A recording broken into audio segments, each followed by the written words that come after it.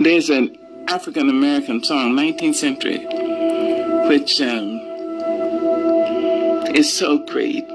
It says, when it looked like the sun wasn't gonna shine anymore, God put a rainbow in the clouds. Imagine. And I've had so many rainbows in my clouds. I had a lot of clouds. But I have had so many rainbows.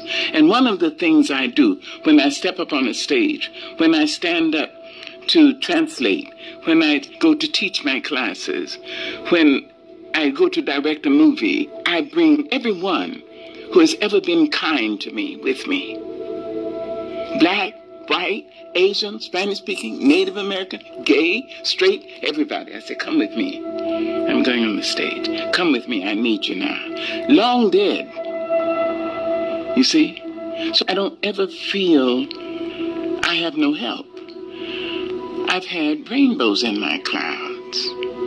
And the thing to do, it seems to me, is to prepare yourself so that you can be a rainbow in somebody else's cloud.